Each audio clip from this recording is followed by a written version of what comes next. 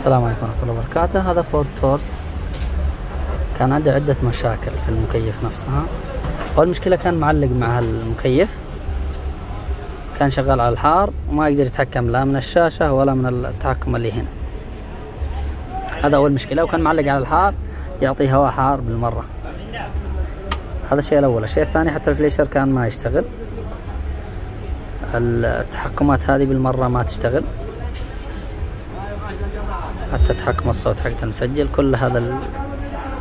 كل هذا الأشياء معلقة معه. وأصعب شيء كان اللي هو خروج الهواء الحار من المكيف من أول ما يشغل السيارة.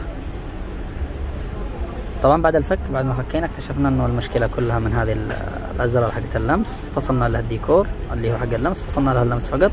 بقينا لها الأزرار. شغالة معنا ما شاء الله. وانحلت معنا المشكلة.